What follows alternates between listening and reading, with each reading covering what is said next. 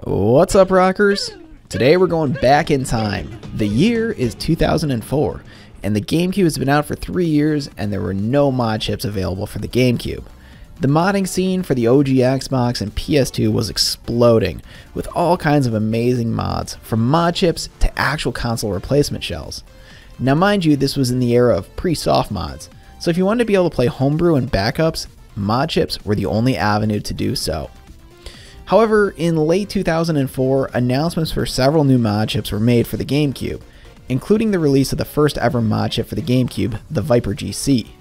The Viper GC is an IPL replacement based mod chip that allows users to direct boot games and run homebrew from memory. Prior to this, it was possible to run backups on the GameCube, but the process was complicated and relied on the broadband adapter and an exploit in Phantasy Star Online. While the process is outside of the scope of this video, it was not easy to say the least, and it wasn't an option that was really available to masses. Now getting back to the Viper GC, while it was first to market and chock full of features, there was a major drawback to it. It relied on the parallel port to program it. Let that sink in for a minute. In 2004, the parallel port was dead and USB had become the de facto standard. As a matter of fact, USB 1.1 was supported on Windows 95.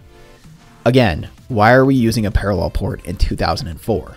However, in March 2005, two new mod chips were announced. The Ripper 3 on March 18th, and the Qoob Pro was announced on March 21st. The Ripper 3 was not very interesting for all intents and purposes, as it was just a clone of the aforementioned Viper GC. The Qoob Pro, on the other hand, was an evolutionary step ahead of the Viper GC in pretty much every way. In addition to having USB functionality, it also supported up to 32 applications loaded on its 16 megabits of flash memory, progressive video, network support, in-game reset, and tons of customization options available. This became the go-to mod chip for the scene and it sold very well as a result.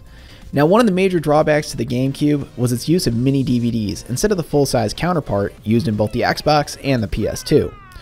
Well, no worries, because Qoob had your back there too. During holiday of 2005, they introduced a bundle which included the Qoob Pro mod chip and a replacement top shell that supports full-size DVDs. So in this video, let's check out that bundle, install it into the GameCube, and relive what it was like modding the GameCube during 2005. So I've got this nice jet black GameCube. This is a Japanese GameCube, and I mean, honestly, it needs a little retro bright and a little bit of love, but hey, it's a prime candidate for a mod like this. So you can see as I pop open the two tops on these two tops that uh, obviously the disc size is a little different. And clearly as I demonstrate here with the full-size disc, it clearly doesn't fit into the, you know, legacy GameCube case, but it does fit quite nicely into the replacement. Now, unfortunately, when they made the replacement, there were certain sacrifices that had to be made, and the number one thing that they had to sacrifice is the power LED indicator. So we're going to have to make some modification for that and probably just do an LED mod as a result. Taking a look at the actual mod chip itself, it was pretty ingeniously designed and the way they designed it, it actually doesn't cut off any airflow to the uh, actual system and you'll kind of see when we install it a little later on how that design worked and why it worked so well. But yeah, after taking a look at the uh, top and the mod chip here, let's go ahead and get this console ripped open and let's start to get all this stuff installed. Now, for whatever it's worth, I'm extremely nostalgic for this particular mod. And the reason why is back in 2006, I modded my childhood GameCube with a Qoob Pro mod chip. And this is actually going to be the first time I've installed one of these mod chips since 2006. So it's incredibly exciting to finally have one of these in my hands again, and even better, it's more exciting that I'll be able to finally be able to add a console with a Qoob Pro mod chip to my collection. So anyway, let's just continue to rip this thing open and get into the guts of the console.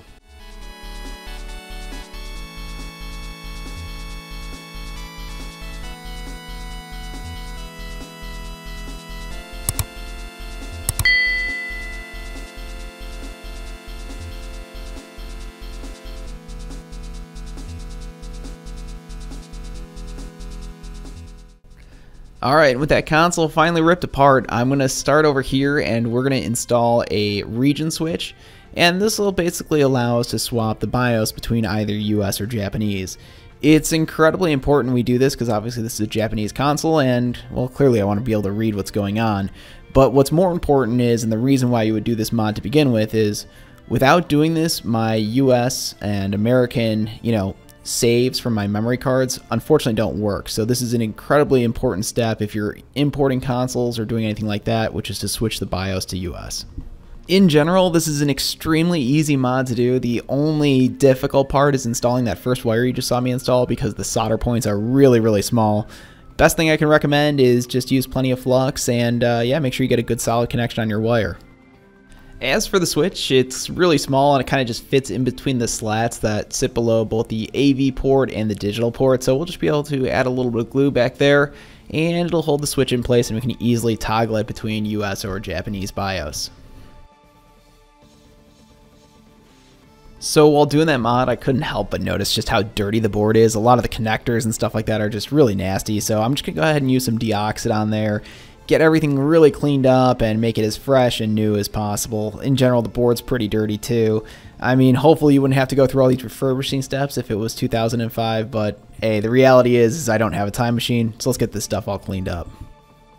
As far as installing the mod chip goes, it comes with a really convenient wiring harness and it's only a 6 wire install it's really not too bad. The, the, the actual like solder points aren't that small, uh, with the exception of the 5 volt. And I'm not gonna lie, I probably made my life a little bit more difficult than the 5 volt installation, which is the red wire coming up here. And I opted to solder it to a test pad as opposed to just soldering it to the capacitor that was located right next to it. So if you're doing this yourself, uh, you might make your, your life a little bit easier and solder directly to the capacitor instead of going to the test pad, which is where I soldered it. But yeah, just going to go ahead and get all these wires all cut as short as I possibly can, all these conductors, and yeah, get everything soldered in for the, the wiring harness.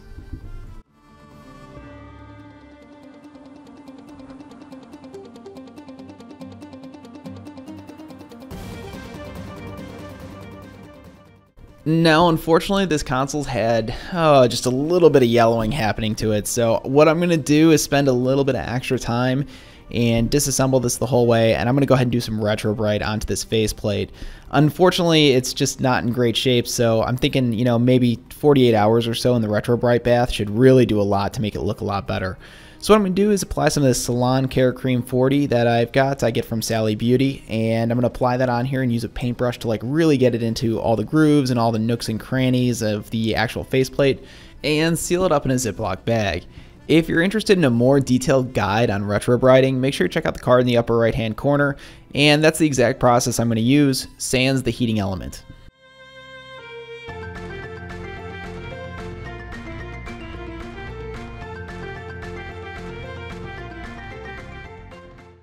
Well, as long as the front of that controller is in the Retro Bright box, I figure I might as well do an LED mod to the front controller ports. This is actually even more important in this scenario because of that top not having a power LED indicator. So unfortunately that's one of the things that they had to get rid of in order to accommodate the full-size DVD. So this is actually to me really important because you're definitely going to want to know the console is turned on. Now I'm not going to go super deep into the detail here as it relates to the entire process, but uh, what I will say is if you're interested, in the upper right hand corner I'll put a link to a full tutorial that I've made on LED modding your GameCube controller ports. So I'll leave that up there for you to check out if you're interested as long as I'm in here, I'm going to do some preventative maintenance as well. And the preventative maintenance entails removing this CR2032 battery, and I'm going to replace it with a removable one. So this is pretty simple to do, and basically what I do is just desolder the actual CR2032 battery with a little bit of solder braid and some flux and obviously my soldering iron to take that thing out and we're just going to install a new one that can make it so we can easily swap in and out batteries.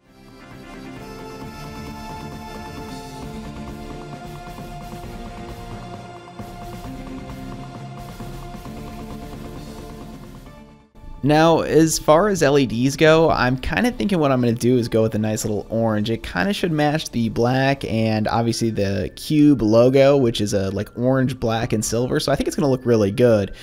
One thing to note as you're kind of watching me do this, I've already pre-applied flux to all of the points on here. And the other thing is, is I'm just kind of tacking everything in place. These aren't my final solder joint. So typically the way I like to do it is tack everything in place and then I'll come back over everything and make a final joint. So what that means is get everything where it needs to be, and then I can hold everything clearly in place and then reapply some more solder and heat obviously both the wire and the pad at the same time. While I've omitted that step from the video, it's just something that I thought was worth pointing out as I've done that for virtually every single solder joint that I've performed so far. Okay, about 48 hours later, the faceplate of the controller ports is looking really good, and we can just go ahead and get this thing reinstalled. It's real simple, just install those two screws, and we should be pretty much all set. But uh, with that complete, I think it's time to actually reassemble the console. One of the really cool things about the Qoob Pro is it has a USB adapter for it. And the original developers wanted you to be able to have the mod chip in the console and still be able to connect it via USB to your computer. So most people will install this into the Game Boy Advance player port, and that's really not something I want to do because obviously I want to have the Game Boy Advance on there. So I'm going to go ahead and install it here into serial port 1. It's a little bit extra work to do all the cable routing, but uh, to me it's worth it. The last step of getting all this installed is obviously connecting the mod chip to the wiring harness, and then hooking it up to the DVD drive, which allows for the mod chip to control the open or close status of the DVD drive. From there, it's just reassembly just the way we took it apart. So let's montage through the rest of this assembly and fire the console up.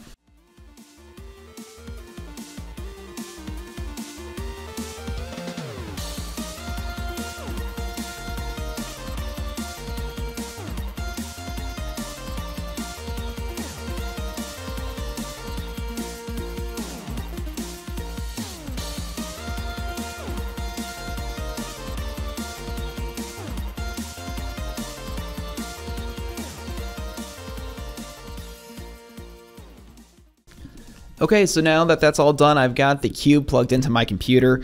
And one thing to note is when you plug this thing into your computer, do not power on the console at the same time. You just need to plug the USB cable into the cube and you should be all set. And all I'm going to do right here is drop the BIOS onto it. So the most recent revision BIOS are 1.3C and I'm also going to go ahead and drop on Swiss.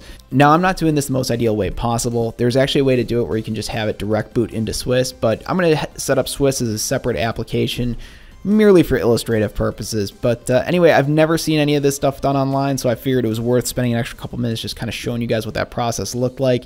And incredibly, this mod chip is plug and play on Windows 10. there was no driver required. Pretty amazing.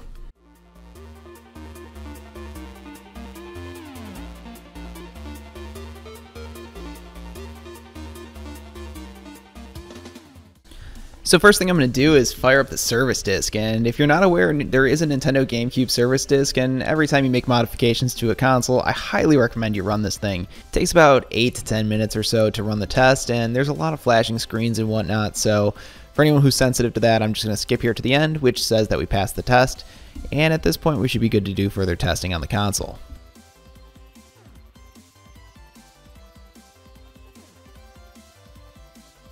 Okay, so I've got the Qoob splash screen, which is just basically your 1.3 BIOS screen, and it kind of gives you everything you can do. Now, there's currently no disk in the system, which is why it says no medium found, but I'm going to go ahead and launch the main menu, and from there I'm going to go to my applications and show you guys that you can launch Swiss from right there, and obviously you saw me load that on earlier uh, on the computer side, so let's go ahead and get Swiss launched, and uh, let's go from there. So as far as media goes, I've got an SD card loaded into the serial port 2 via the SD2SP2. If you're not familiar with that is, uh, check out the card in the upper right hand corner. And I've also got an SD Gecko loaded into slot A. And from here I can launch all my games or my emulators or pretty much whatever I want. And before anyone gets all upset about, you know, having backup games on there, trust me, I have a very, very extensive GameCube library and what you're seeing right now isn't even all of it. So it's pretty ridiculous. But anyway, I'm going to go ahead and load up uh, Mario Kart Double Dash just because it's something I've been playing a lot and really enjoying. And unfortunately, uh, and my apologies, I recorded this without uh, putting in progressive. So uh, unfortunately, you guys are going to get it in 480i. But nonetheless, I'm recording this uh, via the Carby. So it should look pretty good. Um, the Carby is a really nice little HDMI dongle for the GameCube, and it works really well. And obviously, game worked great, as uh, still can take first place on 150cc, no problem.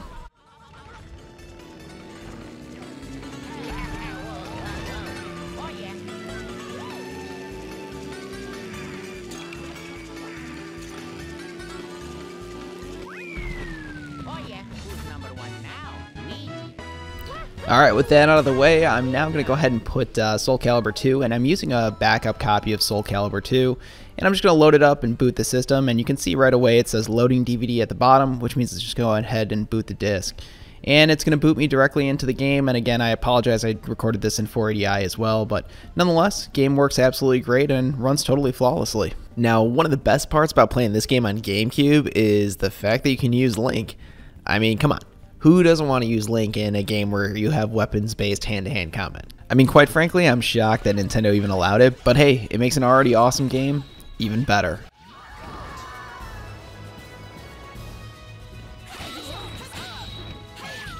But as for me, I'm just really glad to have this project done and be able to add this amazing cube to my ever growing collection of GameCube consoles. And let's just say I've got quite a few. Anyway, if you guys modded any of these cubes back in the day, make sure you let me know in the comments below, and if not, tell me what you thought about what it was like mining the GameCube in 2005. Anyway guys, I'll catch you for the next one here soon.